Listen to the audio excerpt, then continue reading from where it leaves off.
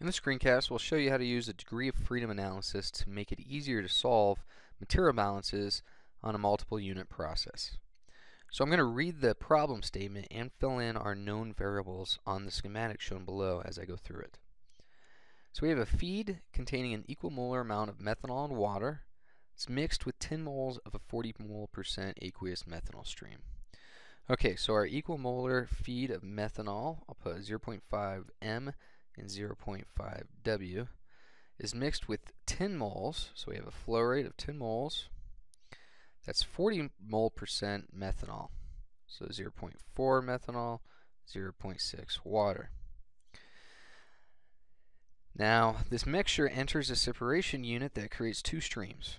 A top stream exits that contains 70 mole percent methanol and the rest water. So here we have 0.7 methanol and 0.3 water.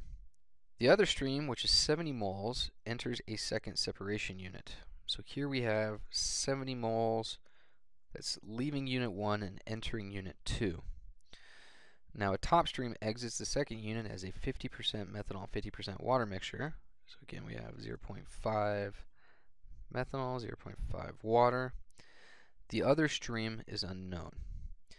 Now, if the fresh feed to the system is 100 moles, so 100 moles entering our system, and the two top streams exiting the separation units have the same flow rate, we want to find the molar flow rate and composition of the other stream exiting the second separation unit. So we're trying to determine the composition and flow rate of this bottom stream from unit 2.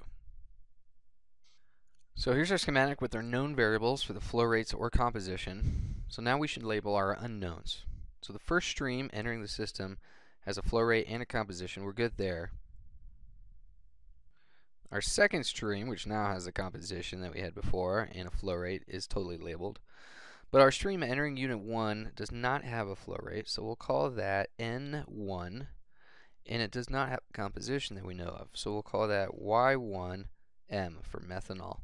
Now we know that it's just methanol and water, our binary system, so the other variable that we don't have here is the composition or mole fraction for water, but we do know that the two have to add up to 1. So I'll just leave that off for now. So we have N1 and Y1M entering unit 1. We don't have a flow rate for the top stream, so I'll call that N2. We have a flow rate for the bottom stream, but we do not have a composition for methanol, so I'll call that Y3M. We don't have a flow rate leaving unit 4, so I'll call that N4. And we don't have any information for the last stream, so I'll call that N5 and Y5 for methanol. So now you see we have a total of seven variables, and we have to determine this last stream. So where do we start? Now the reason we do degree of freedom analysis is that we could quickly pick apart each process within our system and determine whether or not we could solve those variables. So let's start by looking at the overall system and doing a degree of freedom analysis over the entire process. So I'm going to draw my boundary to include all streams that are entering or exiting the entire process. So recall in this situation when we're doing a degree of freedom analysis that we're basically taking the number of unknowns and we're subtracting the number of relationships that we can write to calculate those unknowns. And whatever's left is our number of degrees of freedom. Now if this is 0, then we know we could solve for the unknowns. If it's more than 0, we cannot solve for the unknowns. And if it's less than 0, if we get a negative number, then we've overspecified our system. So either the overspecifications work and we still get what we need, or it may not match up depending on what we're calculating. So let's look at this overall balance. Our unknowns involve nothing coming in on the left side, but it does involve N2 leaving. We also don't have N4, N5, or the composition of that last stream, so Y5M. So we have four unknowns. Now in terms of relationships, since we have two species, we could write two independent material balances. we have an overall balance, a methanol balance, and a water balance. And we can only write two of those three down. So two balances. We also have a relationship that says that N2 and N4 are the same. So I'll say one material relationship. But that's all we have. So when we do this, we get one degree of freedom, and we cannot solve for these unknowns. So we can't start with an overall balance. Now let's take a look at the first separation unit and do a degree of freedom analysis around this. For unknowns, we now have N1 that we care about and the composition Y1M. We do not know N2 leaving, nor do we know the composition of the bottom stream Y3M. So we have four unknowns. Again, we could write two balances, but we can't write our relationship between N2 and N4 since N4 is not one of the unknowns in this analysis. So this time we have four unknowns and two balances. That leaves us with two degrees of freedom. So we can't start at unit 1. If we do a degree of freedom analysis around unit 2, we have the unknowns y3m, n4, n5, and y5m. Again, since we have two species, we could write two balances. And because we have four unknowns and two relationships, we have a degree of freedom for our second unit of 2. So again, it's underspecified. We cannot solve for these variables. The only thing left to look at is the mixing point. So if we look at that mixing point, the two streams coming in at the entrance before Unit 1, the only unknowns we have are N1 and the composition of that stream, or the mole fraction Y1M. The two relationships we could write are two material balances. This time, since we have two unknowns and two relationships, we have a degree of freedom of 0. So we could start here. And by starting here, we get these two variables solved. So now we come up with our plan to solve for these unknowns.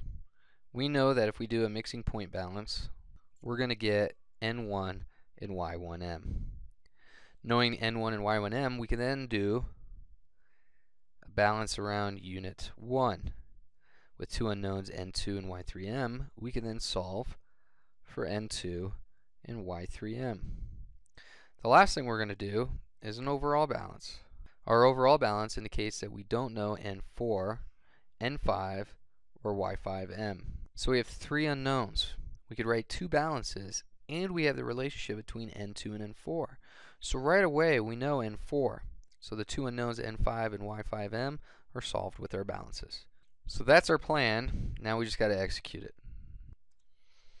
So we're going to start with our mixing point. I'm going to write an overall balance, which says that 100 moles plus 10 moles coming in must be equal to N1. Thus, N1 is equal to 110 moles. Now, species balance on either methanol or water, I'll do methanol, follows the same logic.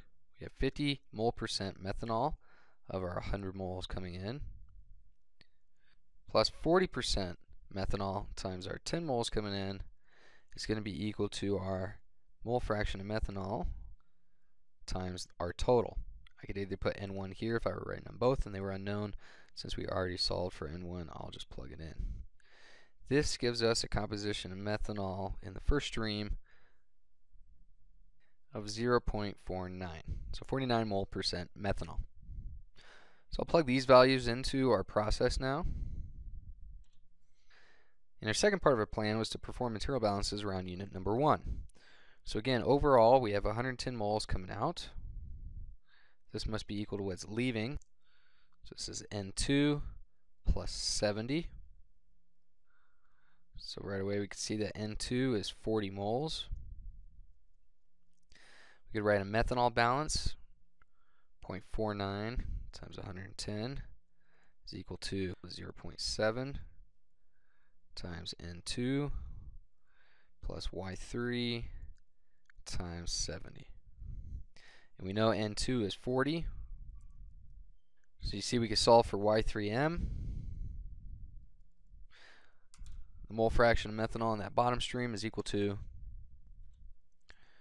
about 0.37. So now we can plug that information in into our schematic. And the last thing in our plan is to do the overall material balances. So starting with an overall mole balance, we have 100 moles entering our process plus the 10 moles it's mixing with. This is equal to what's leaving our process. This is 40 moles from unit 1 plus N4 plus N5. A methanol balance, written in the same fashion, looks like the following.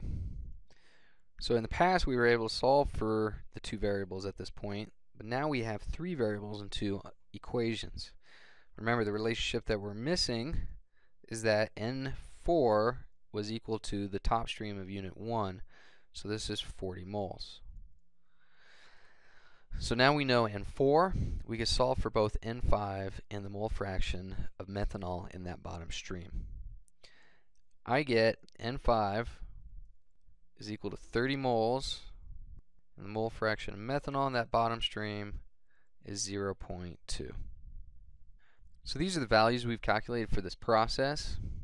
Hopefully this screencast has given you an idea of why it's important to do a degree of freedom analysis and how it could help you when we have multiple units involved in our process and not necessarily knowing where we should start in approaching the problem.